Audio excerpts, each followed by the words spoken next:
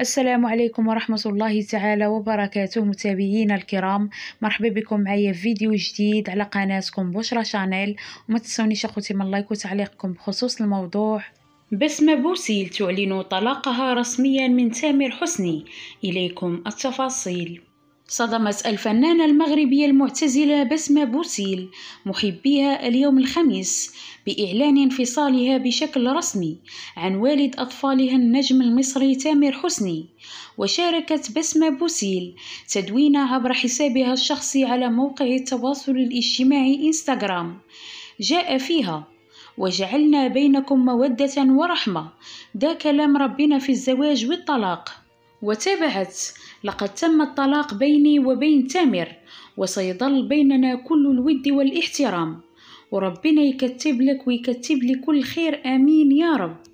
ومن جهته أعاد الفنان تامر حسني نشر story بسمة بوسيل عبر حسابه الرسمي على الإنستغرام وعلق قائلا جعلنا بينكم مودة ورحمة بين الأزواج في كل حالاتهم سواء تزوجوا ولم يقدروا الله الاستمرار فانفصلوا بالاتفاق الطيب. ستظل بيننا المودة والرحمة وأجمل الأولاد وسيظل بيننا الاحترام والتقدير. عشرة 12 عام مش هينة. ربنا يكتب لك ويكتب لي كل الخير يا بسوم.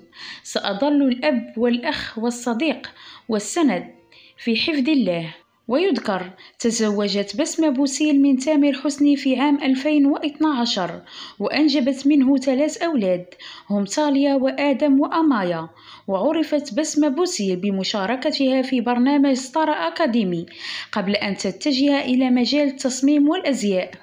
وفي سياق آخر ضجت منصات التواصل الاجتماعي بمقطع فيديو للمغربية جليلة تلمح من خلاله مواعدتها للفنان المصري تامر حسني زوج الفنانة المغربية المعتزلة بسمة بوسيل وجرت جليلة على نفسها انتقادات لاذعة عبر مواقع التواصل الاجتماعي بسبب حديثها عن علاقتها بالنجم تامر حسني على الرغم من معرفتها أنه متزوج من ابنة بلدها.